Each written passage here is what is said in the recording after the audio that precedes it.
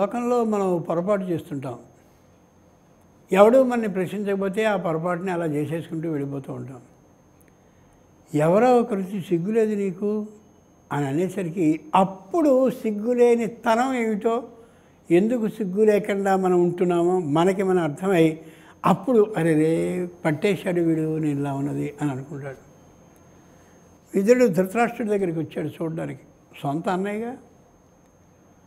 ఆయన భోజనానికి కూర్చోవడం భీముడు వచ్చి నోటికి వచ్చిన తిట్లన్నీ తిడుతూ ఉండడం. గుడ్డాడికి భోజనం పెట్టండి మర్చిపోవద్దు. ఎందుకో తెలిసిన ద్రౌపది వస్త్రాభరణాన్ని చేయించిన గనుడు కదా పెట్టండి. అయ్యయ్యో వీడికి పెట్టకపోతే ఎలాగా? వీడికి భోజనం పెట్టండి. ఎందుకని? జోదవాడించి రాజ్యాన్ని లాగేశాడుగా అని ధృతరాష్ట్రుడు చేసిన తప్పులన్నీ తనకి అర్థమయ్యేలా స్పష్టంగా వినిపించేలా కొత్త కొత్తలాడిపోయేటటువంటి ఆ హృదయం అంతా కూడా వేడెక్కిపోయేలా అన్నిటికీ మించి పెళ్ళమైనటువంటి గాంధారి వింటుండగా నోటికొచ్చినట్టు తిట్లన్నీ కూడా భోజన కాలంలో ఇక్కడ విస్తరి విడి వేసుకోవడం సరిగ్గా సమయానికి భీముడు వచ్చి తిడుతూ ఉండడం. దాన్ని గమనించాడు విధుడు ఏమయ్యా ఏమైనా బాగుందా? నువ్వు తిట్లు తింటున్నావా? తిండి తింటున్నావా? శత్రువు యొక్క ఇంట్లో భోజనాన్ని చేయడానికి అసలు సిగ్గు ఉండాలి ముందు సగం చచ్చిపోయి కదా శత్రువు ఇంట్లో చేయడం. పైగా నువ్వు ఎవరికి అపకారాన్ని చేశావో వాళ్ళ ఇంట్లో ఉండడం ఇంకా సిగ్గుమాలినతనం. అబ్బో ఎంత గొప్పవాడివి అని అనుకోరుగా? మాకింతటి కష్టాన్ని కలిగించినటువంటి వాడు అనుకుంటారుగా?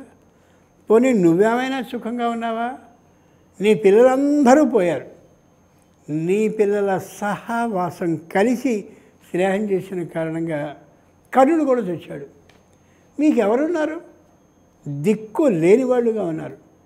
ఆ దిక్కు లేనటువంటి వాళ్ళు ఈ శత్రువులుగా నీ చేత చూడబడ్డటువంటి పాండవులనే దిక్కుగా చేసుకుంటున్నావు. సిగ్గులేదు? అని అడిగాడు. పరాన్న భోజనం.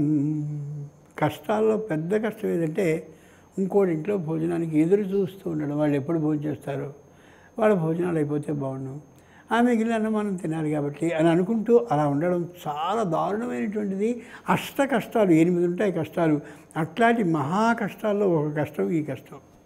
నువ్వు అలా చేయటంలా?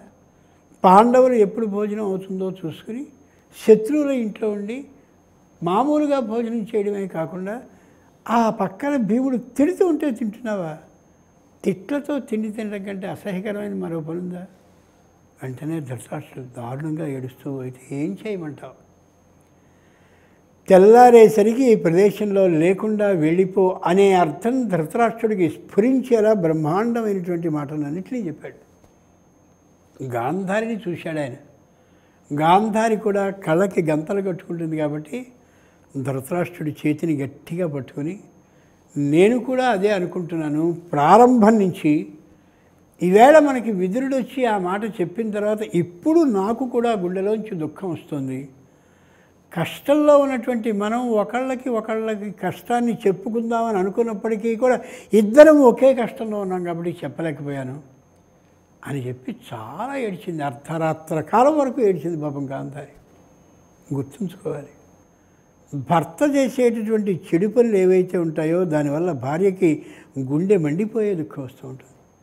అలాగే భార్య సరైనటువంటి ప్రవర్తనలో కానీ లేకపోయినట్లయితే భర్త గుండె మండిపోతూ ఉంటుంది అందుకని వెంటనే వెళ్ళిపోదాం తెల్లారుసామి అంటే పొద్దునే ధర్మరాజు నిద్ర లేవడం వచ్చి ధృతరాష్ట్రుడి యొక్క పాదాలకి గాంధారి పాదాలకి సాష్టాంగపడి నమస్కరించేవాడు.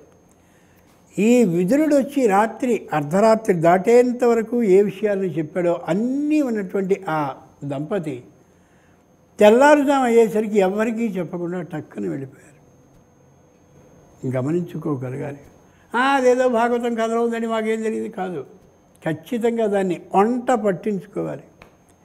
మనం ఎవరికి తప్పు చేశామో ఎవరి విషయంలో ద్రోహాన్ని చేశామో ఎవరి నుంచి వంచన కారణంగా మొత్తం సంపాదించామో వాళ్ళ ఇంట్లో ఉండడం కంటి నికృష్టమైన పని మరొకలేదు అంచేత ఇద్దరు వెళ్ళిపోయారు తెల్లవారుజామున. గుర్తుంచుకోగలగాలి. అది సిగ్గులేని తనము అంటే అర్థం. ఎప్పుడు అట్లాంటి పని చేయనప్పుడు ఎంత ధైర్యంగా ఉండగలుగుతాం? మనకు కూడా పెళ్ళిళ్ళకి వస్తూ ఉంటారు చుట్టారు మనకేదో అన్యాయం చేసినవాడు. మొహన చాటించుకుని అటు ఇటు తిరిగిపోతుంటాడు. మన అసలు చూడనట్టుగా ఎటో ఎటో చూస్తుంటాడు. ఎందుకా కర్మ? తప్పు చేసావు కాబట్టి. తప్పు చేయని పక్షంలో ఎంత ఆత్మీయంగా వచ్చి గౌగలించుకుని చక్కగా మాట్లాడి ఎన్ని ఉంటాయి అంచేత భాగవతం ఏది ఉందో అది గుండెల్లోకి వెళ్ళి వ్యక్తిని పలకరించి నిజమా కాదా అని అడుగుతుంది అంత గొప్ప గ్రంథం భాగవతం.